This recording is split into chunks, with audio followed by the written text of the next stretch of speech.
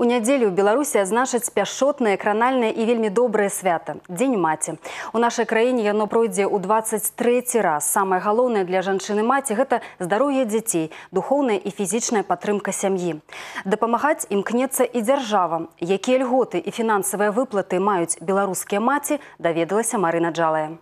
Выплаты пры нараджэнні дзіцяці, трохгадовы дэкрэтны водпуск, мацярынскі капітал, дадатковы свабодны ад працы дзень у тыдні, льготныя крэдыты на будаўніцтва жылля. У залежнасці ад колькасці дзяцей беларускія маці маюць права на шэраг прэферэнцый. Пры нараджэнні першага дзіцяці жанчына атрымлівае адзіначасовую выплату звыш 2000 рублёў. Пры з'яўленні другога і наступных каля 3000. Акрамя таго, Беларусь адна з нямногіх краін, дзе маці можа не выходзіць на працу тры гады пасля нараджэння дзіцяці і пры гэтым атрымлівае матэрыяльную дапамогу. А калі на свет з'яўляецца трэцяе немаўля, мае права на мацярынскі капітал. Уже с 2015 года реализуется э, такой проект, как назначение семейного капитала.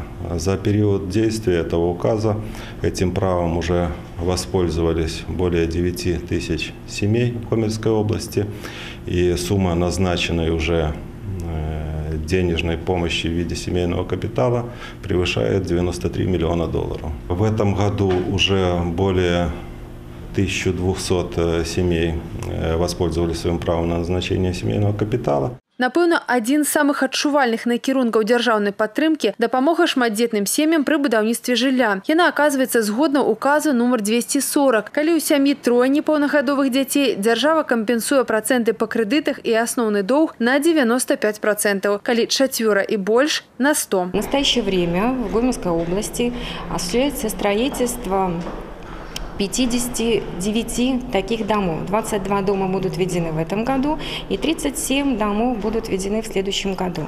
Это порядка 5000 квартир. В этом году это будет где-то примерно 2000 квартир введено в этих домах э, и 3000 в 2019 году.